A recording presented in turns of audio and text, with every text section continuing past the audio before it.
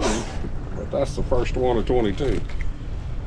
We're supposed to be pulling under 15s out, but that one's going to get to go back. I do appreciate his little sacrifice.